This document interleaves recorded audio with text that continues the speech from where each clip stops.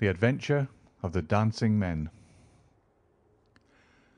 Holmes had been seated for some hours in silence, with his long, thin back curved over a chemical vessel in which he was brewing a particularly malodorous product.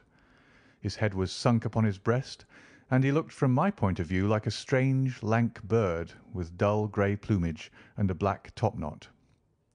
"So, Watson," said he suddenly, "you do not propose to invest in South African securities?" I gave a start of astonishment. Accustomed as I was to Holmes's curious faculties, this sudden intrusion into my most intimate thoughts was utterly inexplicable.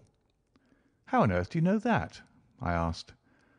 He wheeled round upon his stool, with a steaming test tube in his hand and a gleam of amusement in his deep set eyes. "Now, Watson, confess yourself utterly taken aback," said he. "I am." "I ought to make you sign a paper to that effect." "Why?" "Because in five minutes you will say that it is all so absurdly simple." "I am sure that I shall say nothing of the kind. You see, my dear Watson," he propped his test tube in the rack and began to lecture with the air of a professor addressing his class, "it is not really difficult to construct a series of inferences, each dependent upon its predecessor, and each simple in itself. If after doing so one simply knocks out all the central inferences, and presents one's audience with the starting point and the conclusion one may produce a startling, though possibly a meretricious effect. Now it was not really difficult, by an inspection of the groove between your left forefinger and thumb, to feel sure that you did not propose to invest your small capital in the goldfields." "I see no connection." "Very likely not, but I can quickly show you a close connection. Here are the missing links of the very simple chain. One you had chalk between your left finger and thumb when you returned from the club last night. Two, you put chalk there when you play billiards to steady the cue. Three, you never play billiards except with Thurston. Four, you told me four weeks ago that Thurston had an option on some South African property which would expire in a month, and which he desired you to share with him. Five. Your cheque book is locked in my drawer, and you have not asked for the key. Six. You do not propose to invest your money in this manner." "How absurdly simple!" I cried. "Quite so," said he, a little nettled. "Every problem becomes very childish when once it is explained to you. Here is an unexplained one. See what you can make of that, friend Watson. He tossed a sheet of paper upon the table and turned once more to his chemical analysis. I looked with amazement at the absurd hieroglyphics upon the paper. "Why, Holmes, it is a child's drawing!" I cried. "Oh, that's your idea!" "What else should it be?" "That is what Mr. Hilton Cubitt, of Ridingthorpe Manor, Norfolk, is very anxious to know. This little conundrum came by the first post, and he was to follow by the next train. There's a ring at the bell, Watson. I should not be very much surprised if this were he." A heavy step was heard upon the stairs, and an instant later there entered a tall, ruddy, clean-shaven gentleman, whose clear eyes and florid cheeks told of a life led far from the fogs of Baker Street. He seemed to bring a whiff of his strong, fresh, bracing East Coast air with him as he entered. Having shaken hands with each of us, he was about to sit down, when his eye rested upon the paper with the curious markings which I had just examined and left upon the table. "Well, Mr. Holmes, what do you make of these?" he cried. "They told me that you were fond of queer mysteries, I don't think you can find a queerer one than that. I sent the paper on ahead so that you might have time to study it before I came." "It is certainly rather a curious production," said Holmes. "At first sight it would appear to be some childish prank. It consists of a number of absurd little figures dancing across the paper upon which they are drawn. Why should you attribute any importance to so grotesque an object?" "I never should, Mr. Holmes, but my wife does. It is frightening her to death. She says nothing, but I can see terror in her eyes. That's why I want to sift the matter to the bottom." Holmes held up the paper so that the sunlight shone full upon it. It was a page torn from a notebook. The markings were done in pencil, and ran in a particular way. Holmes examined it for some time, and then folded it carefully up. He placed it in his pocket book. "This promises to be a most interesting and unusual case," said he. "You gave me a few particulars in your letter, Mr. Hilton Cubitt, but I should be very much obliged if you would kindly go over it all again for the benefit of my dear friend Dr. Watson." "I'm not much of a story teller," said our visitor, nervously clasping and unclasping his great strong hands. "You'll just ask me anything that I don't make clear. I'll begin at the time of my marriage last year. But I want to say first of all that though I'm not a rich man. My people have been at Ridingthorpe for a matter of five centuries, and there is no better known family in the county of Norfolk. Last year I came up to London for the Jubilee, and I stopped at a boarding house in Russell Square because Parker, the vicar of our parish, was staying in it. There was an American young lady there. Patrick was the name. Elsie Patrick. In some way we became friends, until before my month was up I was as much in love as man could be. We were quietly married at a registry office, and we returned to Norfolk a wedded couple. You'll think it very mad, Mr. Holmes, that a man of a good old family should marry a wife in this fashion, knowing nothing of her past or of her people, but if you saw her and knew her, it would help you to understand. She was very straight about it, was Elsie. I can't say that she did not give me every chance of getting out of it if I wished to do so. "I have had some very disagreeable associations in my life," said she. "I wish to forget all about them. I would rather never allude to the past, for it is very painful to me. If you take me, Hilton, you'll take a woman who has nothing that she need be personally ashamed of, but you'll have to be content with my word for it and to allow me to be silent as to all that passed up to the time when I became yours. If these conditions are too hard, then go back to Norfolk and leave me to the lonely life in which you found me." It was only the day before our wedding that she said those very words to me. I told her that I was content to take her on her own terms, and I have been as good as my word. Well, we've been married now for a year, and very happy we've been. But about a month ago, at the end of June, I saw for the first time signs of trouble. One day my wife received a letter from America. I saw the American stamp. She turned deadly white, read the letter, and threw it into the fire. She made no allusion to it afterwards, and I made none, for a promise is a promise. But she has never known an easy hour from that moment. There's always a look of fear upon her face, a look as if she were waiting and expecting. She would do better to trust me. She would find that I was her best friend. But until she speaks I can say nothing. Mind you, she is a truthful woman, Mr. Holmes, and whatever trouble there may have been in her past life, it has been no fault of hers. I am only a simple Norfolk squire, but there is not a man in England who ranks his family honour more highly than I do. She knows it well, and she knew it well before she married me. She would never bring any stain upon it, of that I am sure. Well, now, I come to the queer part of my story. About a week ago—it was the Tuesday of last week—I found on one of the window sills a number of absurd little dancing figures, like these, upon the paper. They were scrawled with chalk. I thought it was the stable boy who had drawn them, but the lad swore he knew nothing about it. Anyhow, they had come there during the night. I had them washed out, and I only mentioned the matter to my wife afterwards. To my surprise, she took it very seriously, and begged me if any more came to let her see them. None did come for a week, and then yesterday morning I found this paper lying on the sundial in the garden. I showed it to Elsie, and down she dropped in a dead faint. Since then she had looked like a woman in a dream, half dazed, and with terror always lurking in her eyes. It was then that I wrote and sent the paper to you, Mr. Holmes. It was not a thing that I could take to the police, for they would have laughed at me. But you will tell me what to do. I am not a rich man, but if there is any danger threatening my little woman, I would spend my last copper to shield her."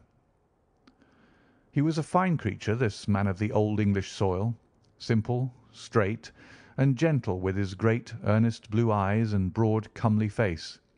His love for his wife and his trust in her shone in his features.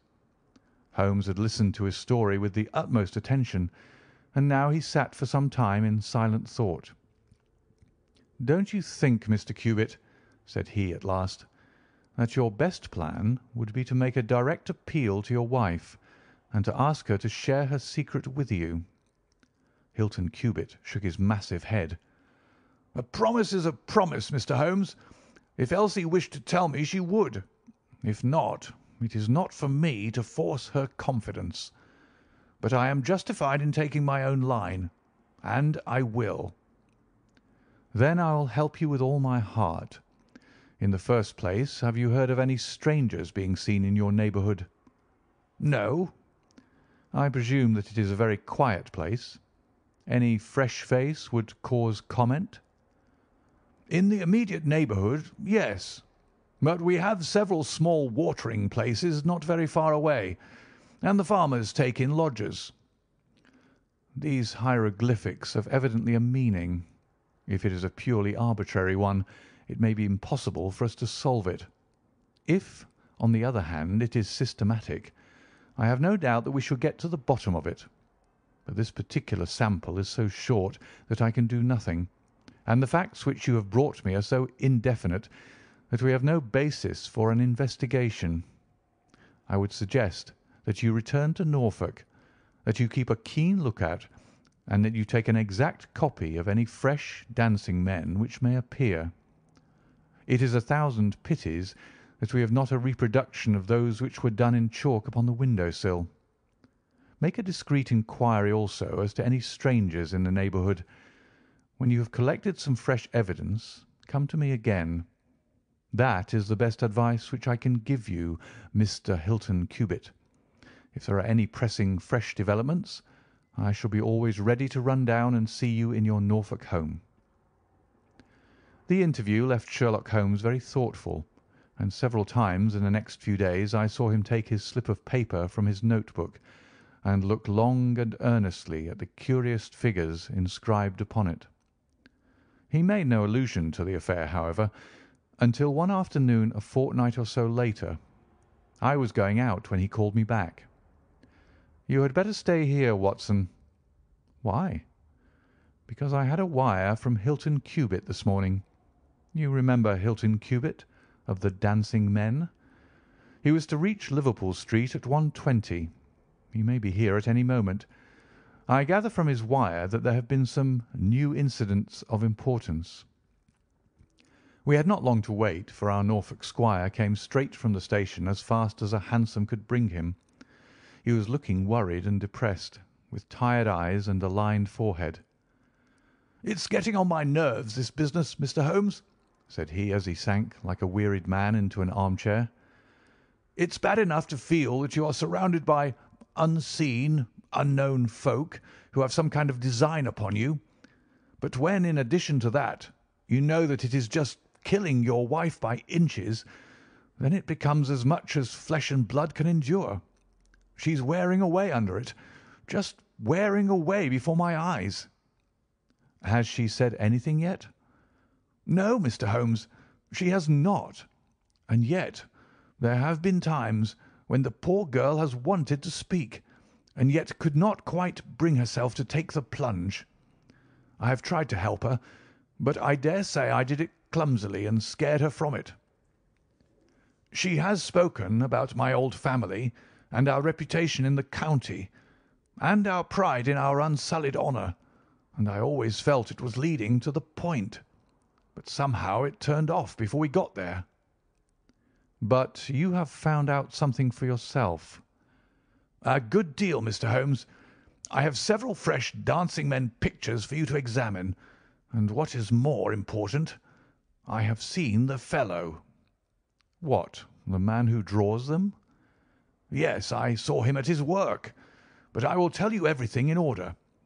When I got back after my first visit to you, the very first thing I saw next morning was a fresh crop of dancing men. They had been drawn in chalk upon the black wooden door of the tool house, which stands beside the lawn in full view of the front windows. I took an exact copy, and here it is." He unfolded a paper and laid it upon the table. "Here is a copy of the hieroglyphics." "Excellent," said Holmes. "Excellent. Pray continue." "When I had taken the copy I rubbed out the marks, but two mornings later a fresh inscription had appeared. I have a copy of it here." Holmes rubbed his hands and chuckled with delight. "Our material is rapidly accumulating," said he. "Three days later a message was left scrawled upon paper and placed under a pebble on the sundial. Here it is. The characters are, as you see, exactly the same as the last one. After that I determined to lie in wait, so I got out my revolver and I sat up in my study, which overlooks the lawn and garden. About two in the morning I was seated by the window, all being dark save for the moonlight outside, when I heard steps behind me, and there was my wife in her dressing gown. She implored me to come to bed. I told her frankly that I wished to see who it was who played such absurd tricks upon us. She answered that it was some senseless practical joke, and that I should not take any notice of it. "If it really annoys you, Hilton, we might go and travel, you and I, and so avoid this nuisance." "What, be driven out of our own house by a practical joker?" said I. "Why, we should have the whole county laughing at us." "Well, come to bed," said she, "and we can discuss it in the morning." Suddenly, as she spoke, I saw her white face grow whiter yet in the moonlight, and her hand tightened upon my shoulder. Something was moving in the shadow of the tool house.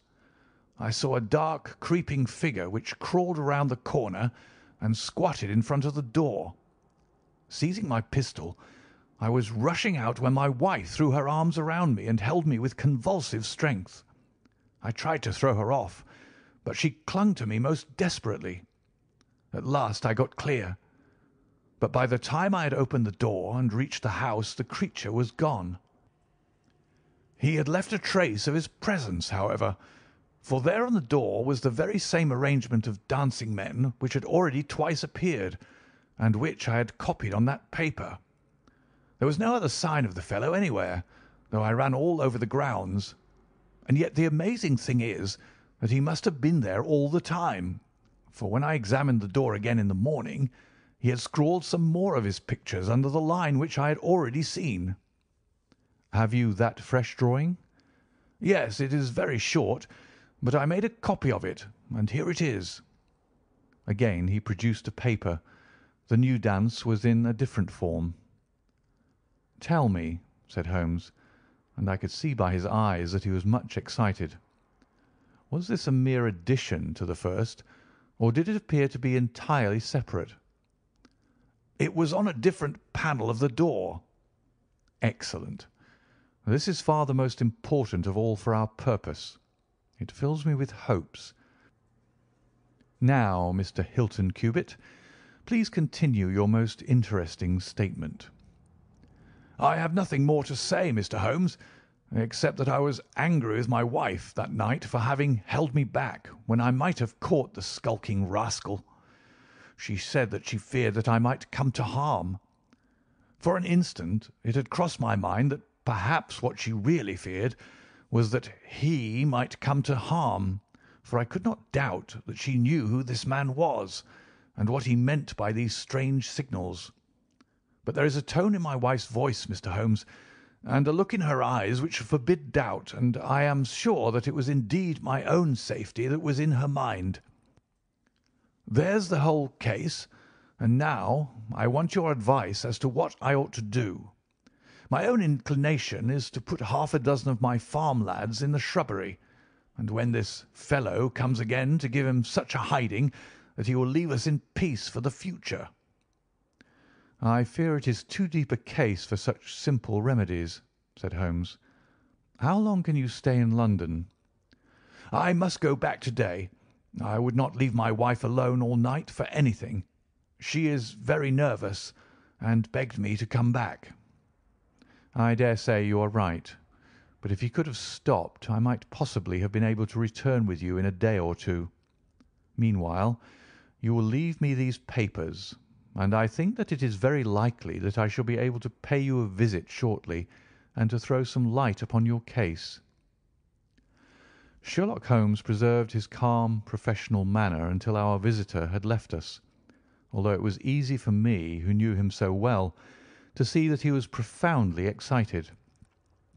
The moment that Hilton Cubitt's broad back had disappeared through the door, my comrade rushed to the table, laid out all the slips of paper containing dancing men in front of him, and threw himself into an intricate and elaborate calculation. For two hours I watched him as he covered sheet after sheet of paper with figures and letters, so completely absorbed in his task that he had evidently forgotten my presence. Sometimes he was making progress and whistled and sang at his work. Sometimes he was puzzled, and would sit for long spells with a furrowed brow and a vacant eye. Finally he sprang from his chair with a cry of satisfaction and walked up and down the room, rubbing his hands together. Then he wrote a long telegram upon a cable form.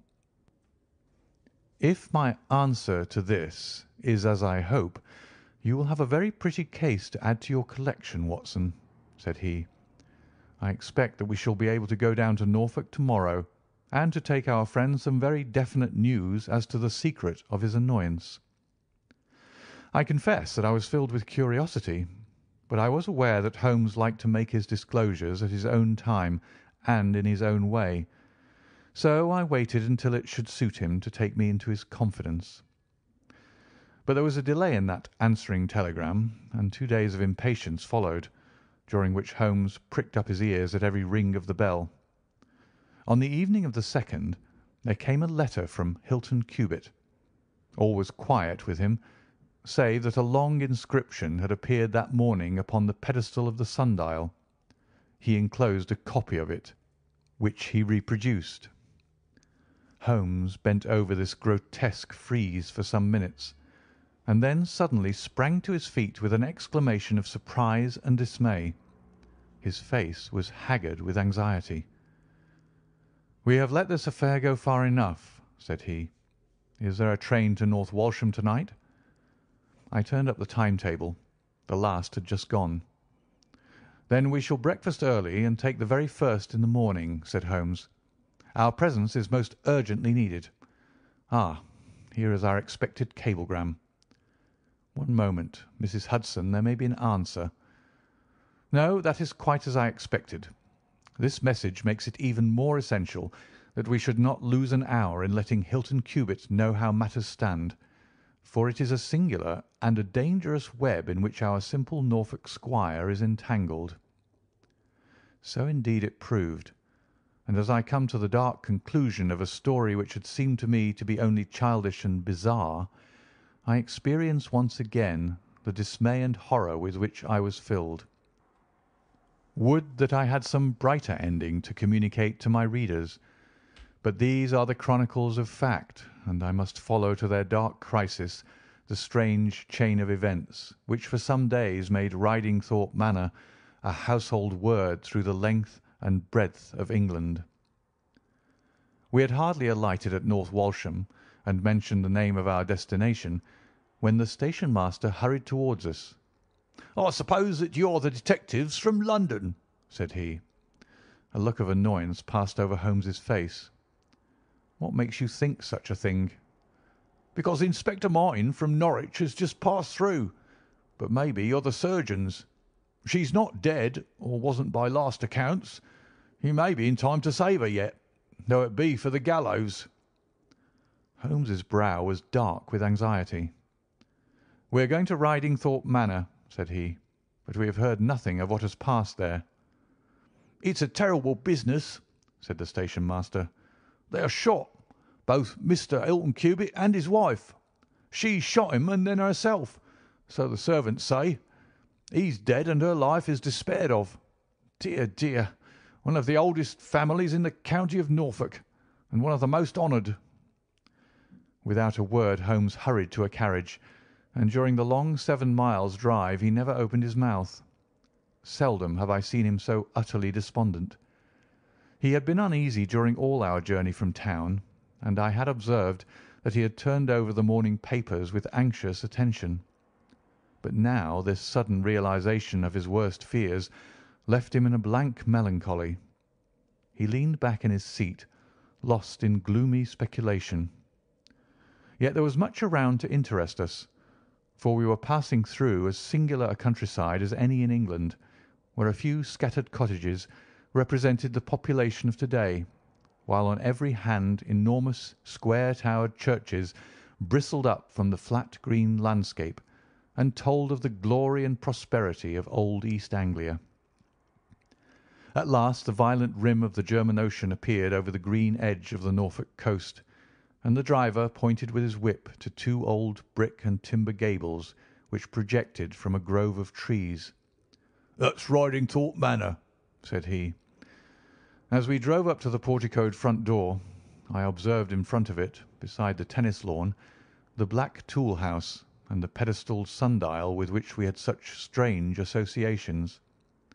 A dapper little man with a quick, alert manner and a waxed moustache had just descended from a high dog-cart. He introduced himself as Inspector Martin of the Norfolk Constabulary, and he was considerably astonished when he heard the name of my companion. "Why, Mr. Holmes, the crime was only committed at three this morning. How could you hear of it in London and get to the spot as soon as I?" "I anticipated it. I came in the hope of preventing it." "Then you must have important evidence of which we are ignorant, for they were said to be a most united couple."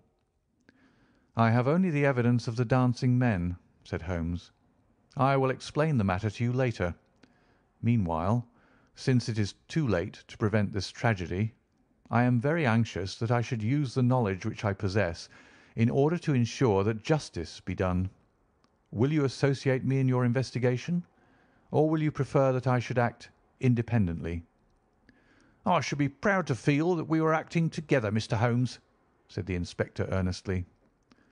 "In that case I should be glad to hear the evidence and to examine the premises without an instant of unnecessary delay."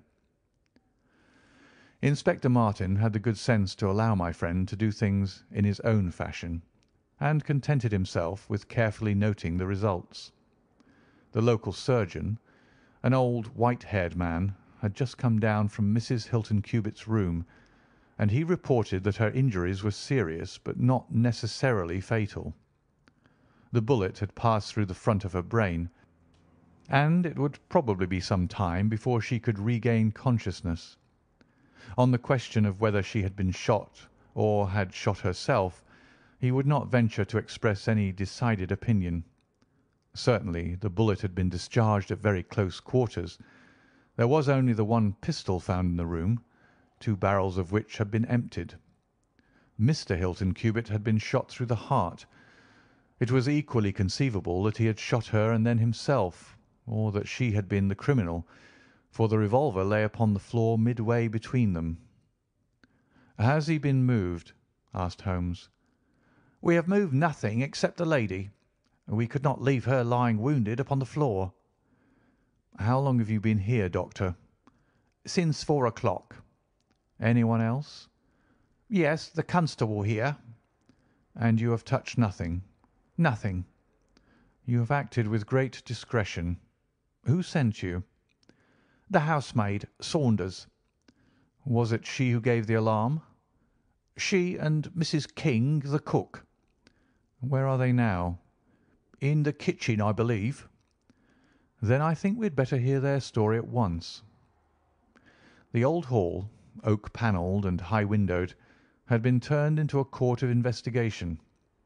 Holmes sat in a great old fashioned chair, his inexorable eyes gleaming out of his haggard face.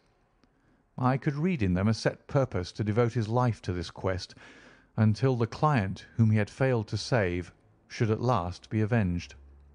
The trim Inspector Martin, the old grey-headed country doctor, myself, and a stolid village policeman made up the rest of that strange company. The two women told their story clearly enough.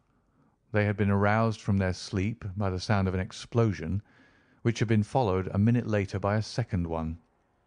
They slept in adjoining rooms, and Mrs. King had rushed in to Saunders.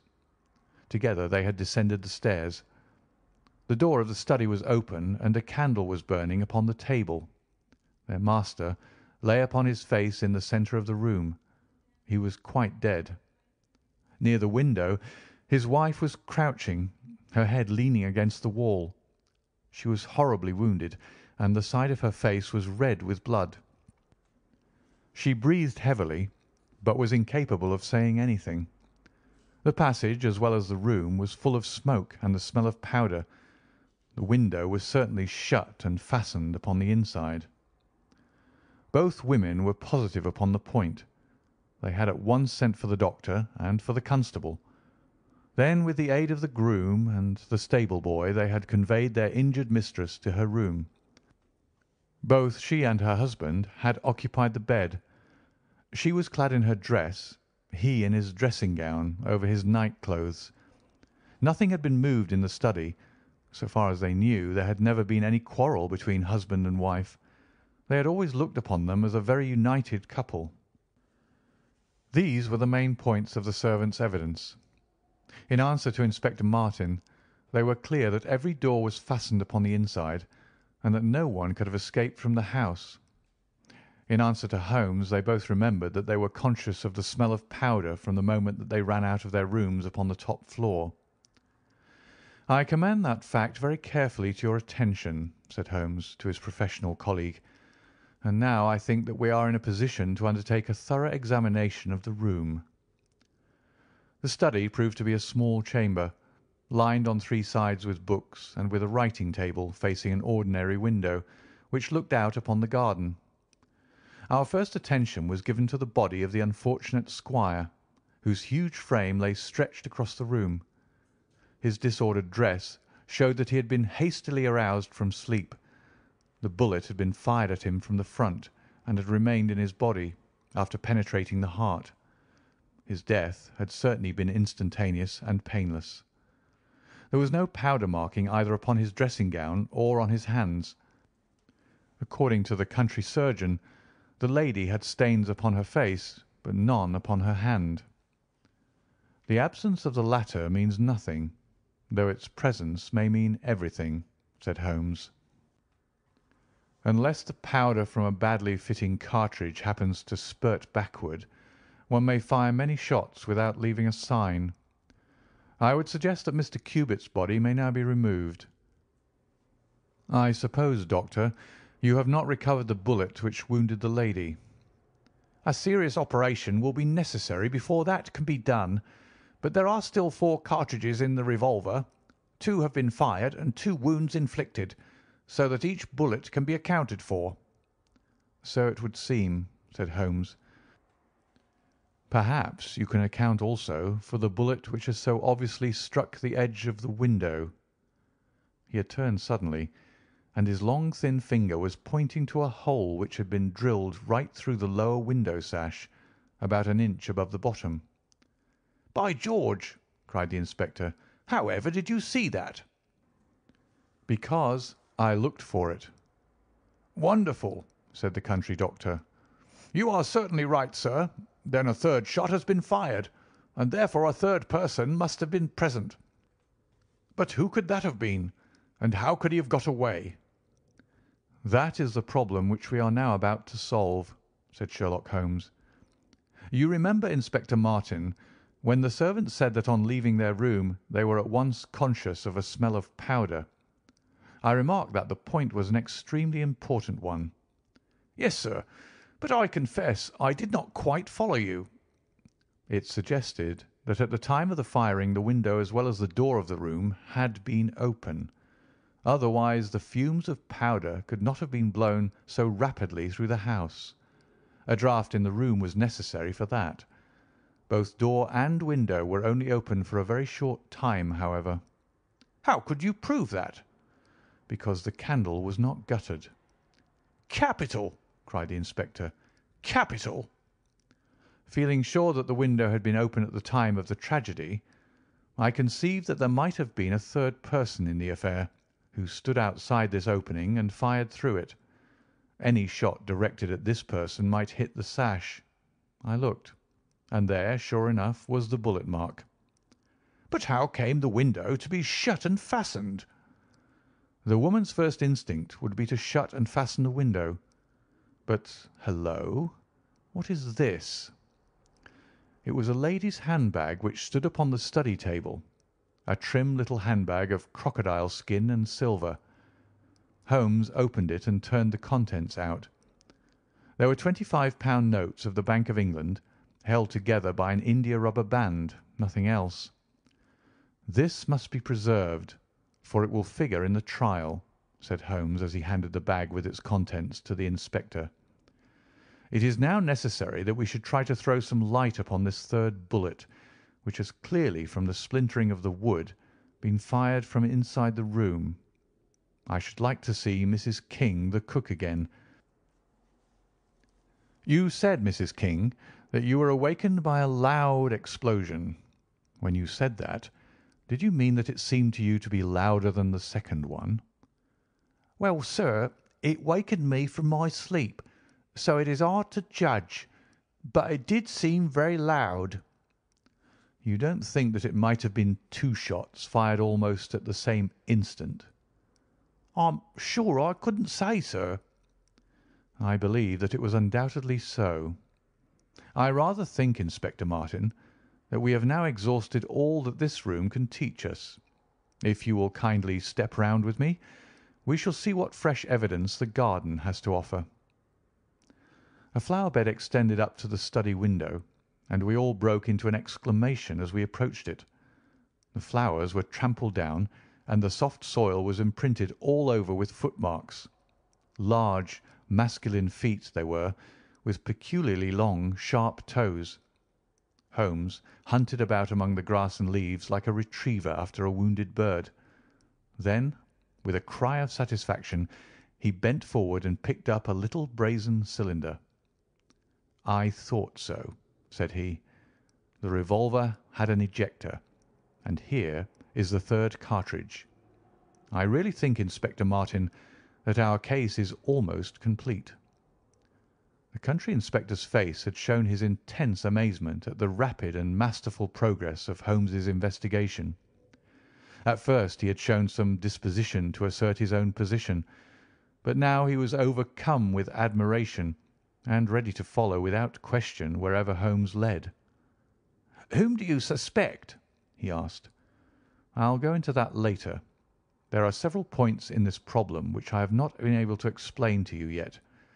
Now that I have got so far, I had best proceed on my own lines, and then clear the whole matter up once and for all." "Just as you wish, Mr. Holmes, so long as we get our man." "I have no desire to make mysteries but it is impossible at the moment of action to enter into long and complex explanations. I have the threads of this affair all in my hand. Even if this lady should never recover consciousness, we can still reconstruct the events of last night and ensure that justice be done. First of all, I wish to know whether there is any inn in this neighbourhood known as Elrige's." The servants were cross-questioned, but none of them had heard of such a place. The stable boy threw a light upon the matter by remembering that a farmer of that name lived some miles off in the direction of East Ruston. "Is it a lonely farm?" "Very lonely, sir." "Perhaps they have not heard yet of all that happened here during the night." "Maybe not, sir." Holmes thought for a little, and then a curious smile played over his face. "Saddle a horse, my lad," said he. I shall wish you to take a note to Elrige's farm." He took from his pocket the various slips of the dancing men. With these in front of him, he worked for some time at the study table. Finally he handed a note to the boy with directions to put it into the hands of the person to whom it was addressed, and especially to answer no questions of any sort which might be put to him. I saw the outside of the note, addressed in straggling, irregular characters, very unlike Holmes's usual precise hand. It was consigned to Mr. Abe Slaney, Elrige's Farm, East Ruston, Norfolk. "I think, Inspector," Holmes remarked, "that you would do well to telegraph for an escort, as if my calculations prove to be correct, you may have a particularly dangerous prisoner to convey to the county jail. The boy who takes this note could no doubt forward your telegram. If there is an afternoon train to town, Watson, I think we should do well to take it, as I have a chemical analysis of some interest to finish and this investigation draws rapidly to a close." When the youth had been dispatched with the note, Sherlock Holmes gave his instructions to the servants. If any visitor were to call asking for Mrs. Hilton Cubitt, no information should be given as to her condition, but he was to be shown at once into the drawing-room. He impressed these points upon them with the utmost earnestness. Finally, he led the way into the drawing-room, with the remark that the business was now out of our hands, and that we must while away the time as best we might until we could see what was in store for us. The doctor had departed to his patients, and only the inspector and myself remained. "I think that I can help you to pass an hour in an interesting and profitable manner," said Holmes, drawing his chair up to the table and spreading out in front of him the various papers upon which were recorded the antics of the dancing men. As to you, friend Watson, I owe you every atonement for having allowed your natural curiosity to remain so long unsatisfied. To you, Inspector, the whole incident may appeal as a remarkable professional study. I must tell you, first of all, the interesting circumstances connected with the previous consultations which Mr. Hilton Cubitt had with me in Baker Street. He then shortly recapitulated the facts which have already been recorded. I have here in front of me these singular productions at which one might smile, had they not proved themselves to be the forerunners of so terrible a tragedy. I am fairly familiar with all forms of secret writings, and am myself the author of a trifling monograph upon the subject, in which I analyse one hundred and sixty separate ciphers, but I confess that this is entirely new to me. The object of those who invented the system has apparently been to conceal that these characters convey a message, and to give the idea that they are the mere random sketches of children. Having once recognised, however, that the symbols stood for letters, and having applied the rules which guide us in all forms of secret writings, the solution was easy enough. The first message submitted to me was so short that it was impossible for me to do more than to say, with some confidence, that the symbol XXX stood for E. As you are aware, E is the most common letter in the English alphabet, and it predominates to so marked an extent that even in a short sentence one would expect to find it most often. Out of fifteen symbols in the first message, four were the same, so it was reasonable to set this down as E. It is true that in some cases the figure was bearing a flag, and in some cases not, but it was probable from the way in which the flags were distributed that they were used to break the sentence up into words. I accepted this as a hypothesis, and noted that E was represented by XXX. But now came the real difficulty of the inquiry. The order of the English letters after E is by no means well marked, and any preponderance which may be shown in an average of a printed sheet may be reversed in a single short sentence. Speaking roughly, T, A, O, I, N, S, H, R, D, and L are the numerical order in which letters occur, but T, A, O, and I are very nearly abreast of each other and it would be an endless task to try each combination until a meaning was arrived at. I therefore waited for fresh material. In my second interview with Mr. Hilton Cubitt, he was able to give me two other short sentences and one message, which appeared, since there was no flag, to be a single word. Here are the symbols. Now, In the single word I have already got the two e's coming second and fourth in a word of five letters. It might be sever, or lever, or never.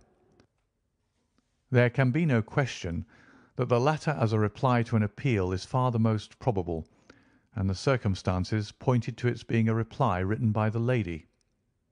Accepting it as correct, we are now able to say that the symbols stand respectively for N, V, and R. Even now I was in considerable difficulty, but a happy thought put me in possession of several other letters. It occurred to me that if these appeals came as I expected from someone who had been intimate with the lady in her early life, a combination which contained two e's with three letters between might very well stand for the name Elsie. On examination I found that such a combination formed the termination of the message which was three times repeated. It was certainly some appeal to Elsie. In this way I had got my L, S, and I.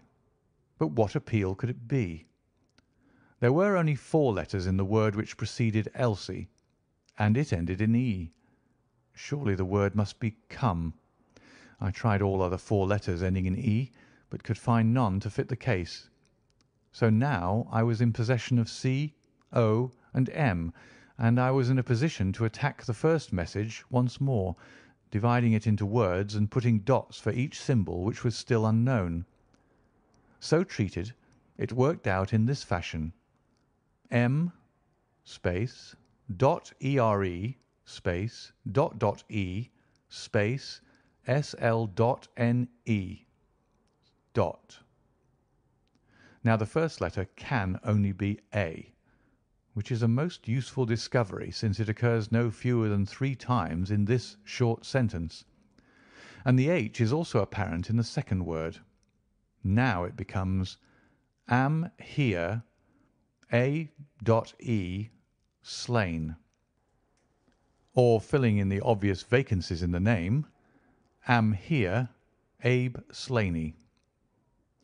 I had so many letters now that I could proceed with considerable confidence to the second message, which worked out in this fashion: A. dot space Elri dot space Es. Here I could only make sense by putting T and G for the missing letters, and supposing that the name was that of some house or inn at which the writer was staying. Inspector Martin and I had listened with the utmost interest to the full and clear account of how my friend had produced results which had led to so complete a command over our difficulties. "What did you do then, sir?" asked the inspector. I had every reason to suppose that this Abe Slaney was an American, since Abe is an American contraction, and since a letter from America had been the starting point of all the trouble. I had also every cause to think that there was some criminal secret in the matter. The lady's allusions to her past, and her refusal to take her husband into her confidence, both pointed in that direction. I therefore cabled to my friend Wilson Hargreave of the New York Police Bureau, who has more than once made use of my knowledge of London crime. I asked him whether the name of Abe Slaney was known to him. Here is his reply the most dangerous crook in Chicago. On the very evening upon which I had his answer, Hilton Cubitt sent me the last message from Slaney. Working with known letters, it took this form: Elsie. Dot re. Dot are. Space. To meet thy. Go. The addition of a P and a D completed a message which showed me that the rascal was proceeding from persuasion to threats, and my knowledge of the crooks of Chicago prepared me to find that he might very rapidly put his words into action. I at once came to Norfolk with my friend and colleague, Dr. Watson, but unhappily only in time to find that the worst had already occurred. "It is a privilege to be associated with you in the handling of a case," said the inspector warmly. "You will excuse me, however, if I speak frankly to you. You are only answerable to yourself, but I have to answer to my superiors. If this Abe Slaney, living at Elrige's, is indeed the murderer, and if he has made his escape while I am seated here, I should certainly get into serious trouble." "You need not be uneasy. He will not try to escape." "How do you know?" "To fly would be a confession of guilt." "Then let us go arrest him." "I expect him here every instant." "But why should he come?" "Because I have written and asked him." "But this is incredible, Mr. Holmes. Why should he come because you have asked him? Would not such a request rather rouse his suspicions and cause him to fly?" "I think I have known how to frame the letter," said Sherlock Holmes. "In fact, if I am not very much mistaken, here is the gentleman himself coming up the drive." A man was striding up the path which led to the door. He was a tall, handsome, swarthy fellow, clad in a suit of grey flannel with a Panama hat, a bristling black beard, and a great, aggressive hooked nose, and flourishing a cane as he walked. He swaggered up a path as if the place belonged to him, and we heard his loud, confident peal at the bell. "I think, gentlemen," said Holmes quietly, "that we had best take up our position behind the door. Every precaution is necessary when dealing with such a fellow. You will need your handcuffs, Inspector. You can leave the talking to me. We waited in silence for a minute, one of those minutes which one can never forget. Then the door opened and the man stepped in. In an instant Holmes clapped a pistol to his head and Martin slipped the handcuffs over his wrists. It was all done so swiftly and deftly that the fellow was helpless before he knew that he was attacked. He glared from one to the other of us with a pair of blazing black eyes. Then he burst into a bitter laugh. "Well, gentlemen, you have the drop on me this time. I seem to have knocked up against something hard, but I came here in answer to a letter from Mrs. Hilton Cubitt. Don't tell me that she is in this. Don't tell me that she helped to set a trap for me." "Mrs. Hilton Cubitt was seriously injured, and is at death's door." The man gave a hoarse cry of grief which rang through the house. "You're crazy!" he cried fiercely. "It was he that was hurt, not she. Who would have hurt little Elsie? I may have threatened her, God forgive me, but I would not have touched a hair of her pretty head. Take it back, you! Say that she is not hurt." "She was found badly wounded by the side of her dead husband." He sank with a deep groan on the settee, and buried his face in his manacled hands. For five minutes he was silent. Then he raised his face once more and spoke with the cold composure of despair. "I have nothing to hide from you, gentlemen," said he. "If I shot the man he had a shot at me, and there's no murder in that. But if you think I could have hurt that woman, then you don't know either me or her. I tell you, there was never a man in this world loved a woman more than I loved her. I had a right to her. She was pledged to me years ago. Who was this Englishman that he should come between us? I tell you that I had the first right to her, and that I was only claiming my own." "She broke away from your influence when she found the man that you are," said Holmes sternly. "She fled from America to avoid you, and she married an honourable gentleman in England. You dogged her and followed her, and made her life a misery to her in order to induce her to abandon the husband whom she loved and respected in order to fly with you, whom she feared and hated. You have ended by bringing about the death of a noble man and driving his wife to suicide. That is your record in this business, Mr. Abe Slaney, and you will answer for it to the law." "If Elsie dies I care nothing what becomes of me," said the American. He opened one of his hands and looked at a note crumpled up in his palm. "See here, mister," he cried with a gleam of suspicion in his eyes. "You're not trying to scare me over this, are you? If the lady is hurt as bad as you say, who was it that wrote this note?" He tossed it forward onto the table. "I wrote it, to bring you here." "You wrote it? There was no one on earth outside the joint who knew the secret of the dancing men. How came you to write it?" "What one man can invent another can discover." said Holmes. "There is a cab coming to convey you to Norwich, Mr. Slaney, but meanwhile you have time to make some small reparation for the injury you have wrought. Are you aware that Mrs. Hilton Cubitt has herself lain under grave suspicion of the murder of her husband, and that it was only my presence here, and the knowledge which I happen to possess, which has saved her from the accusation? The least that you owe her is to make it clear to the whole world that she was in no way, directly or indirectly, responsible for his tragic end." "I ask nothing better," said the American. "I guess the very best case I can make for myself is the absolute naked truth." "It is my duty to warn you that it will be used against you," cried the inspector, with the magnificent fair play of the British criminal law. Slaney shrugged his shoulders. "I'll chance that," said he. "First of all, I want you gentlemen to understand that I have known this lady since she was a child. There were seven of us in a gang in Chicago, and Elsie's father was the boss of the joint. He was a clever man, was old Patrick. It was he who had invented that writing, which would pass as a child's scrawl unless she just happened to have the key to it. Well, Elsie learned some of our ways. But she couldn't stand the business, and she had a bit of honest money of her own, so she gave us all the slip and got away to London.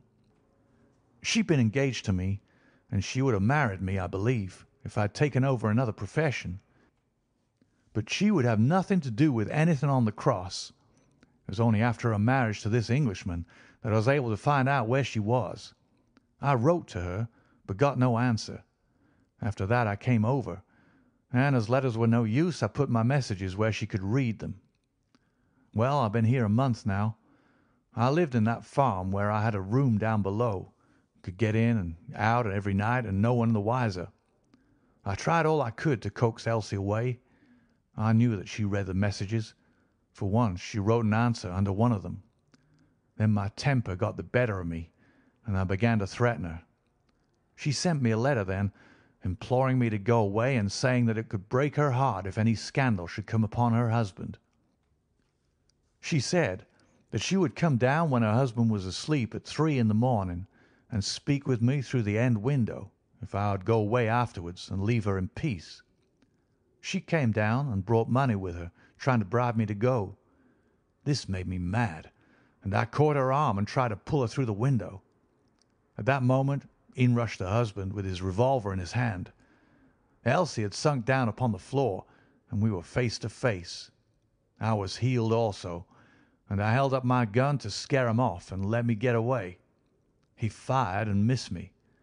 I pulled off almost at the same instant, and down he dropped. I made away across the garden, and as I went I heard the window shut behind me.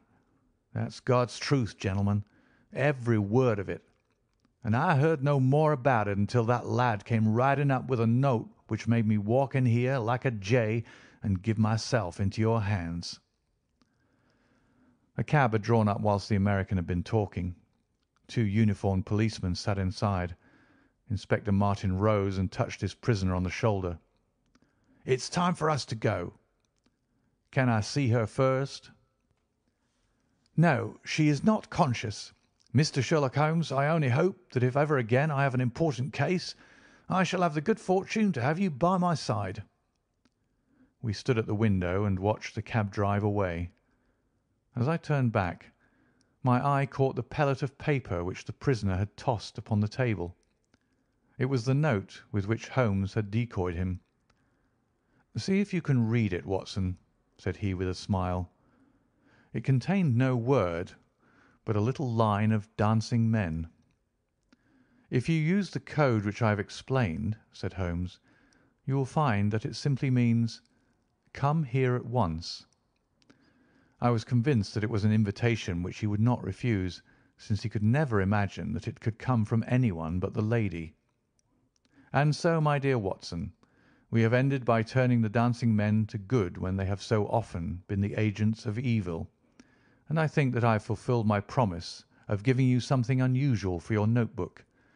Three forty is our train, and I fancy we shall be back in Baker Street for dinner. Only one word of epilogue.